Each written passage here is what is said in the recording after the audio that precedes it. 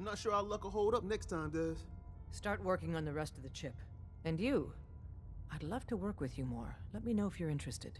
But to be crystal clear, if you use that data and discover anything involving the Institute, you share it with us first. Otherwise, our relationship will be in jeopardy.